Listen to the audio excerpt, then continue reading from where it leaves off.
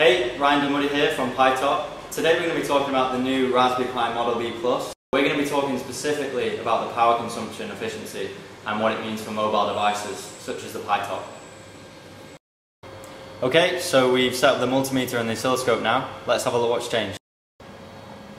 Later on we're going to do a direct power consumption comparison between the Model B and the Model B Plus. But first let's take a look at the power management in the Model B. So over here we've got the micro USB port connected up to the lab power supply. This is supplying the device with 5 volts.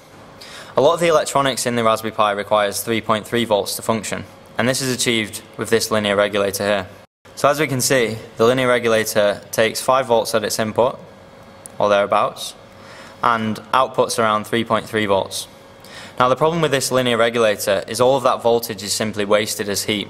This is one of the main differences that the Raspberry Pi has made to the Model B Plus, in that they've opted for a switched mode power converter. These achieve much higher efficiency, which means that battery powered devices will last a lot longer. So let's go and have a look at the Model B Plus. Here we have the new Raspberry Pi Model B Plus. As we said before, the main difference in the power management is that the linear regulator has been swapped out for a more efficient switched mode power converter circuit, which is this integrated circuit right here. We've got 5 volts coming in, and we've got 3.3 volts coming out. But the difference here is that this circuit is much more efficient than the old circuit, meaning that less power is being dissipated as heat. This means that any battery powered devices will last much longer. So let's take a more detailed look on the oscilloscope of what's actually happening in this cluster of components here. We can see what's going on in the switch mode power converter circuit by looking at the frequency of oscillation around the inductor. We've got the inductor hooked up to the oscilloscope and within the integrated circuit there is a high frequency switch.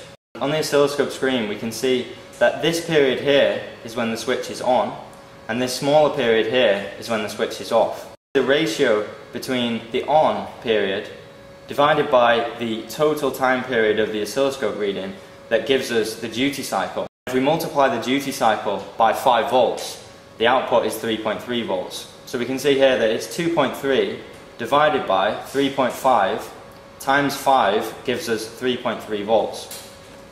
And that's the key to the switch mode power converter. We have the Model B Plus set up to this side of the power supply, and we have the Model B set up to this side.